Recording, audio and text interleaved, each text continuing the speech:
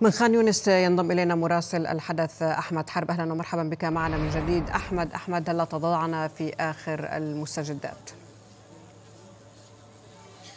آخر المستجدات وتطورات زميلتي هو أن البيت الأبيض قبل قليل أعلن أن إسرائيل سوف تبدأ بتنفيذ هدنة لأربع ساعات في شمالي القطاع وسوف يتم الإعلان عن هذه الهدنة الذي سوف تبدأ اليوم قبل ثلاث ساعات من بدء هذه الهدنة.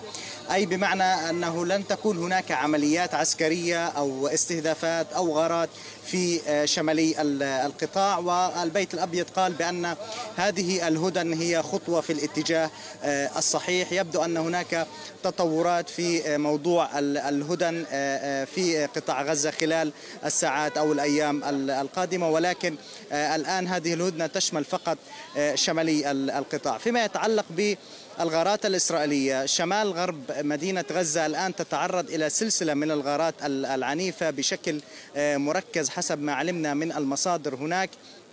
بالإضافة أيضا إلى استهدافات في جنوب مدينة غزة. في حي تل الهوى محيط مستشفى القدس. أيضا هناك استهدافات في محيط هذا المستشفى. في حي تل الهوى أيضا حي الزيتون. جنوبي القطاع تعرض إلى الكثير من الغارات العنيفة وأيضا المدفعية الإسرائيلية المتمركزة شرق غزة قصفت حي الزيتون بشكل عنيف خلال الساعات الماضية. أيضا في محيط المستشفى الأندونيسي شمالي القطاع.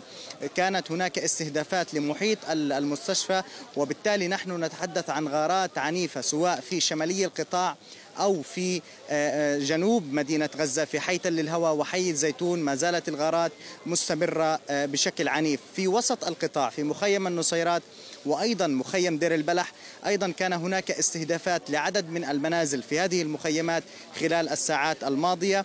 بالإضافة أيضا زميلتي إلى هنا في خان يونس وأيضا رفح في خان يونس كانت هناك عدة غارات إسرائيلية في المنطقة الشرقية لمدينة خان يونس في بلدة خزاعة وعبسان والزنة وغيرها من البلدات الشرقية التي تعرضت إلى الكثير من الغارات في الساعات الماضية. في رفح أيضا كان هناك استهداف لمنزل لعائلة حجازي حتى اللحظة حسب المعلومات من المصادر الطبية في المستشفى الكويتي في رفح أكثر من 20 ضحية وعشرات الإصابات وما زالت طواقم الدفاع المدني تحاول انتشال الضحايا من تحت الركام حيث تم استهداف المنزل على رؤوس ساكنيه وبالتالي من رفح جنوب القطاع حتى مخيم جباليا شمالي القطاع هناك غارات عنيفة تتركز في أكثر من منطقة تستهدف أكثر من منزل على مدار اليوم وفي الساعات الماضية. نحن نتحدث أيضا عن المحاور التي يعني يتركز بها الجيش الإسرائيلي عبر الدبابات والآليات العسكرية محور شمال غرب مدينة غزة في بيت لاهية. الدبابات الإسرائيلية الآن على مشارف مخيم الشاطئ غرب مدينة غزة. تحاول التقدم أكثر لكن هناك اشتباكات عنيفة تدور في الأثناء مع عناصر كتائب القسام. أيضا في شارع صلاح الدين في حي الزيتون وأيضا جنوب غرب تل الهوى.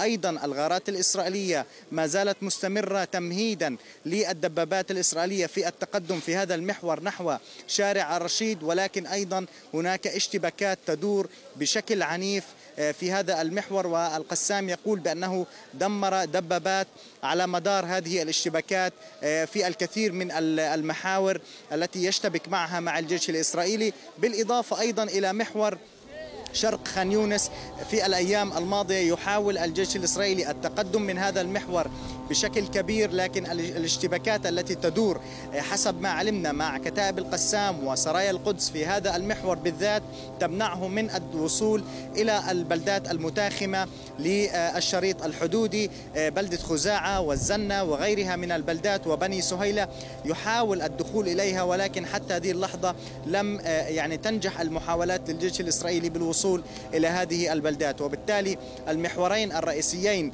غرب مدينة غزة وشارع صلاح الدين والتقدم الحاصل للجيش الإسرائيلي فيهما وأيضا هناك جنود من الجيش الإسرائيلي يعتلون العديد من المباني من القناصة ويقومون بإطلاق الرصاص على المواطنين المارين في هذه المناطق التي يسيطر عليها. المحور الثاني هو شارع صلاح الدين. هناك دبابات تتمركز على شارع صلاح الدين وأيضا هناك اشتباكات وإطلاق نار على المواطنين المارة في هذا الشارع. حتى هذه اللحظة غارات جوية إسرائيلية من الجو المدفعية الإسرائيلية تقصف مناطق متعددة في الساعات الماضية خاصة المناطق الشرقية وأيضا على الأرض توغل بري للجيش الإسرائيلي بالتزامن مع اشتباكات تدور في المحور التي ذكرناها.